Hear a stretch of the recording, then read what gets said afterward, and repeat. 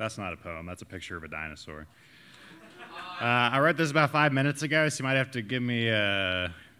Um, don't give me a hard time about the rhythm scheme.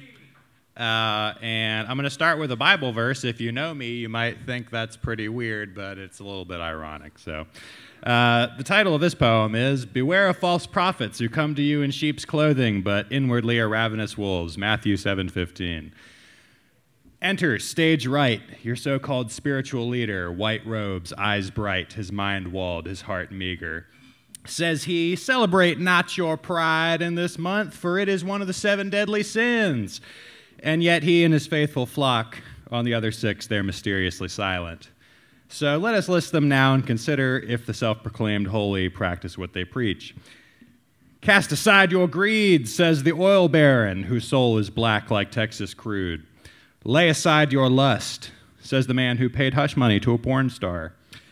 Do away with your gluttony, bellows the man who was convicted of defrauding a charity for starving children. Do not give in to sloth, says the man with soft, uncalloused hands who was born a millionaire. Close your eyes to envy, says the man with green eyes, drinking champagne in a private jet yet burns with hate for his neighbor whose net worth is 5% higher than his. Have no wrath in your heart, says the man whose tie is red like blood, who calls for violence when he can't win a fair contest. And finally, live not in pride, says the man who lives in a golden palace and stamps his name on buildings and on airplanes and on the bitter, angry hearts of his followers.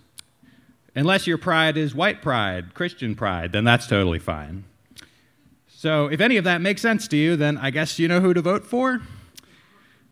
Because clearly you have access to some alchemy, some philosopher's stone unknown to me that transmutes lead into gold and hate somehow into love. Please come back. Please come back.